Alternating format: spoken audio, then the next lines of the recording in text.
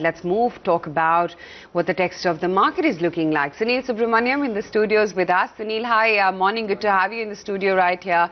Seems like uh, the market is getting a little bit nervous or at least consolidating as we step into earnings.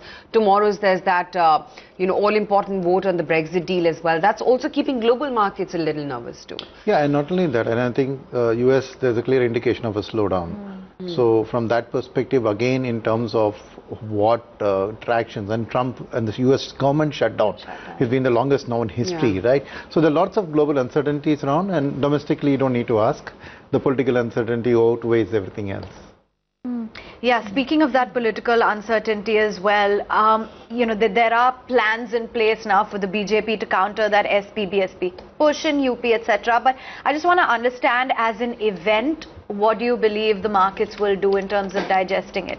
You were saying in terms of volatility, it will be very crucial. Yeah, I think the, the, there are two, three factors which are very, very clear. I think given the recent state elections results, I think the Modi government, BJP, cannot get a standalone majority. I think mm. that's very clear. At the same time, what's also clear is that the BJP will emerge as the single largest party. Two. Three is their ability to cobble together an NDA alliance, right? Those are the things the market will be looking for because I think as long as the market gets certainty that the Modi-led government and India, broader NDA government comes back to power, that will ease a lot of the tensions and the market breadth, actually if you look at it, the earnings, this quarter's earnings will be a little bit under pressure, but overall the economic footprint of the nation, I think is pretty healthy. So what we feel is that there's a lot of money waiting on the sidelines, sidelines because of the volatility, which is parking itself in fixed income, in you know uh, more liquid securities, which post-election will come through. And we believe that the first half of the year and the second half of the year are going to be a very sharp contrast. And the second half will see a strong bounce back on not just the market, because even economically we see that the consumption growth continues to be strong. And that's leading to capex capacity utilization rising. Mm. So by the second half of the year, the capex cycle will really kickstart. So we believe that uh, money which is waiting on the sidelines will come through in a big rush post the election scenario. And if you see past elections, I think that's the been the way it is. The trend. Okay. Wanted to understand what is it that you've made of the fact that IIP has now slumped to a 17-month low. I mean, of course, you know, there was that uh, contraction in manufacturing which took a toll on the numbers. But would you say that maybe now uh, one can raise expectations that come February we will see maybe a rate cut by the RBI? I think it's early days for a rate cut uh, because of the fact that the while the inflation footprint is good, right? I think the government, the growth overall also GDP, GVA is pretty, pretty good.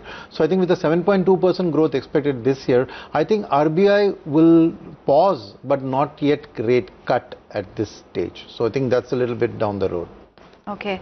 Um, what's the expectation from the budget in terms of how you're looking at the overall macroeconomic backdrop right now? I know you're saying that the second half would be better hmm. uh, for, for the equity markets, but where are we placed on the macro front right now?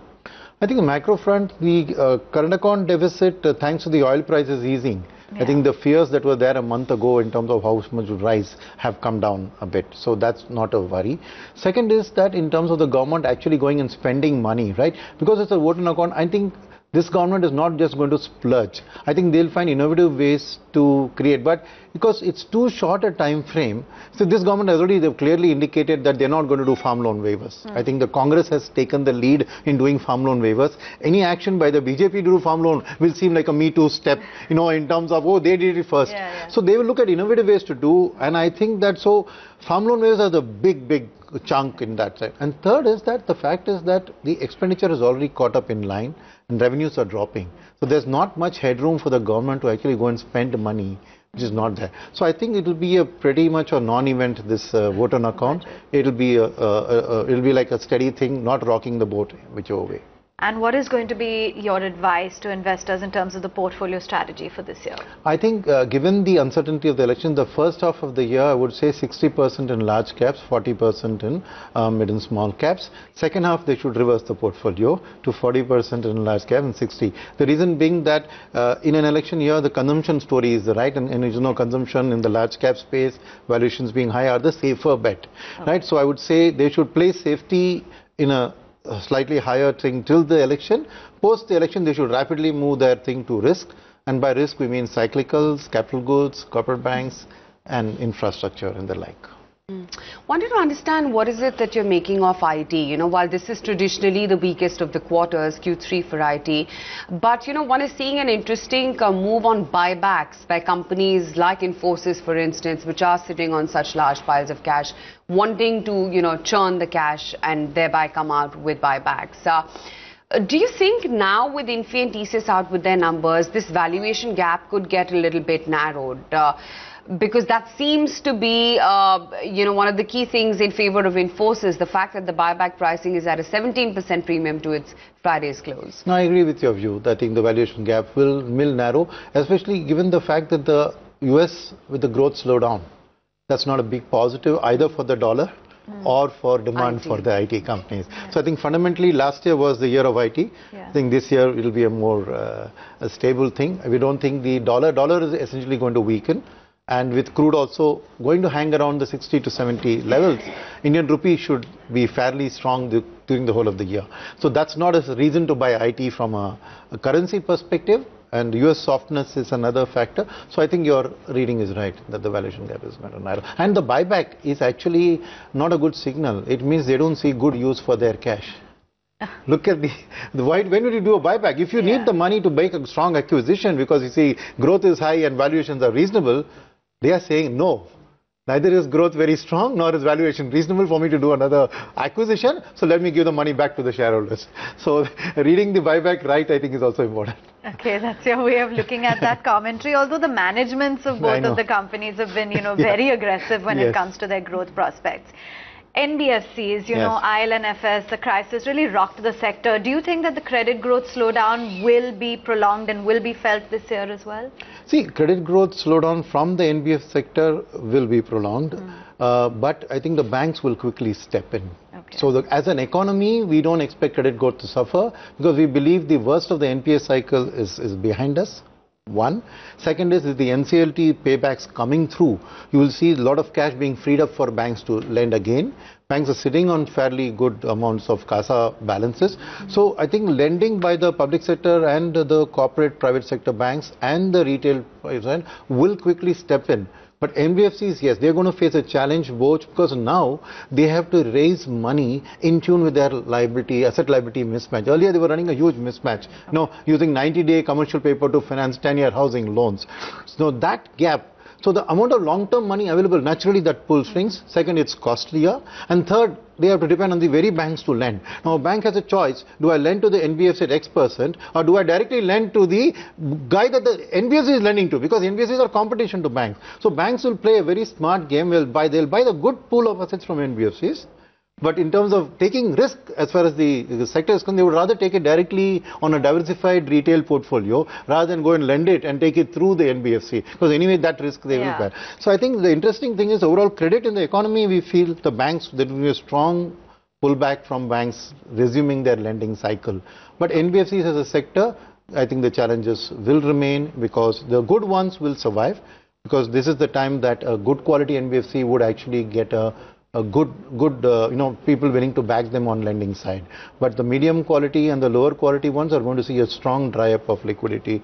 And if they don't have the money, they, no, they can't yeah, lend. So challenges will remain for yes. them. Um, oil prices are staging a rebound right now, but it's been ever so volatile on that front as well. What about the crude linked plays? I think the important point to remember is that a sustained level of below $60 on crude means shale gas industry will suffer right? I think so. I think Trump and the shale gas industry will make sure the prices remain at around 60. At the same time, the pressure for it to go beyond 70, I think, is that, that America also gets affected with a higher oil price.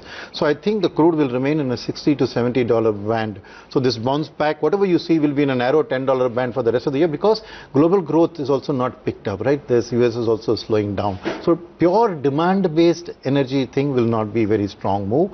So it's more of technical in terms of cutting back on production, how the OPEC comes together, does that. And the second is that I think the US and Saudi are pretty good in terms of talking to each other and managing this. And Russia is the third person who's on the opposite side of the yeah. play. So essentially, it's uh, three people who control more than half of the world's supply of oil, Russia, US, and this. And these two are on one side. There is Trump and uh, Saudi, and Russia on the other side. So I think the interplay between the two will see that Russia wants as a higher oil price as possible to shore up their economy. US wants a lower price, but not so low that shale gas shuts down. Hmm. So you will see a very, you know, finely balanced crude between 60 to 70 for the rest of the year. That's that's the read from Okay. us. Okay. A quick take on Avenue Supermarts as well. The fact that after that 8% fall after the earnings also today, the stock is still quoting at 80 times. Do you Yeah. buy it? Do you wait for a significant decline? Will it ever come? Because it hasn't till far. I can't talk stock specific, Sure. unfortunately. But I think retail as a play hmm. will continue to do well.